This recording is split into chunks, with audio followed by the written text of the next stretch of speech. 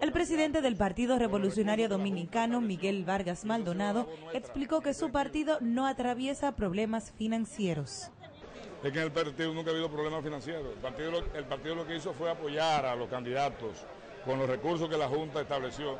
Y esa ha sido la labor nuestra en ese sentido. Y yo como presidente del partido tengo que asumir toda la responsabilidad junto a los hombres y mujeres del PRD que en ese sentido se genere. Al ser cuestionado sobre las declaraciones de Guido Gómez Mazara de que el PRD actualmente no se sabe manejar económicamente como partido, Miguel Vargas Maldonado dijo lo siguiente.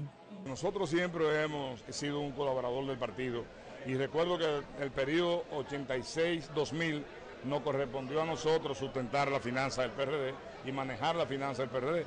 Nosotros abandonamos la finanza del partido como secretario nacional apenas cuando nos lanzamos a la presidencia, a la candidatura presidencial en el 2008. Estas declaraciones fueron ofrecidas luego de la actividad donde Vargas Maldonado estaba apoyando al nadador dominicano Marcos Díaz en su proyecto Uniendo Continentes a Nado, donde no fueron visibles logos ni discursos políticos vinculados al PRD. No obstante, los representantes de la Fundación Marcos Díaz se desligaron de este acto en mensaje enviado vía email a los medios de comunicación. Para Telenoticias, Jenny Aquino.